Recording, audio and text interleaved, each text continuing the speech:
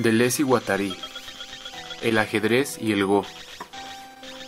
Habría que considerar un ejemplo limitado.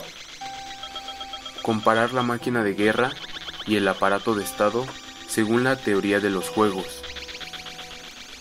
Veamos por ejemplo el ajedrez y el Go, desde el punto de vista de las piezas, de las relaciones entre las piezas y el espacio concernido. El ajedrez es un juego de estado o de corte.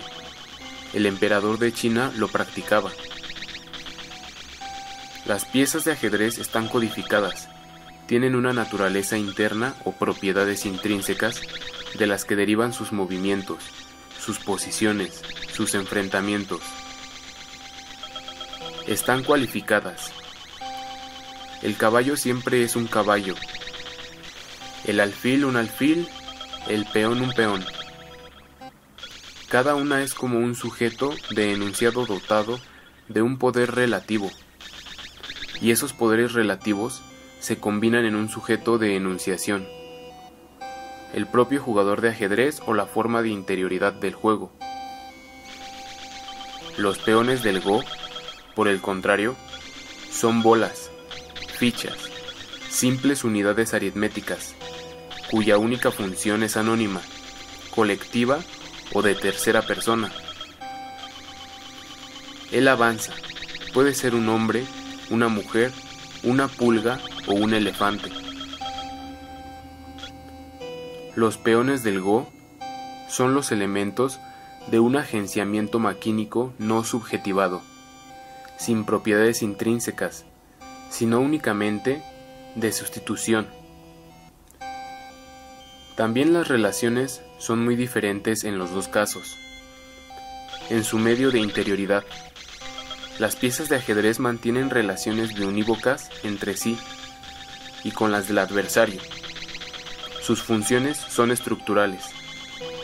Un peón de Go, por el contrario, solo tiene un medio de exterioridad o relaciones extrínsecas con nebulosas constelaciones según las cuales desempeña funciones de inserción o de situación, como bordear, rodear, romper.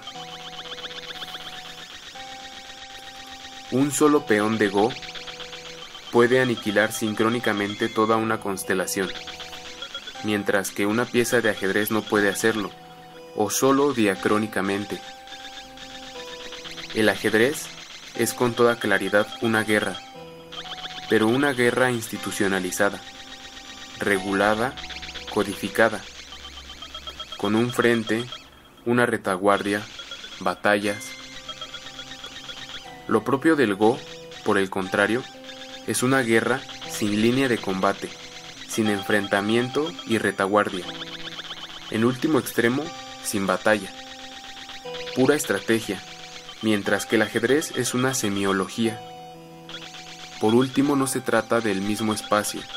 En el caso del ajedrez, se trata de distribuir un espacio cerrado. Así pues, de ir de un punto a otro, de ocupar un máximo de casillas con un mínimo de piezas.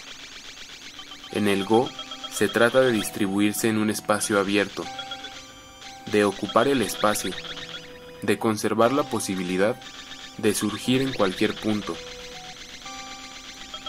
El movimiento ya no va de un punto a otro, sino que deviene perpetuo, sin meta ni destino, sin salida ni llegada.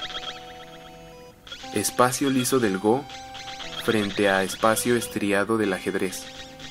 Nomos del Go frente a estado del ajedrez. Nomos frente a polis, pues el ajedrez codifica y descodifica el espacio, mientras que el Go procede de otra forma, lo territorializa y lo desterritorializa. Convertir el exterior en un territorio en el espacio. Consolidar ese territorio mediante la construcción de un segundo territorio adyacente. Desterritorializar al enemigo mediante ruptura interna de su territorio. Desterritorializarse uno mismo, renunciando, yendo a otra parte. Otra justicia, otro movimiento, otro espacio-tiempo.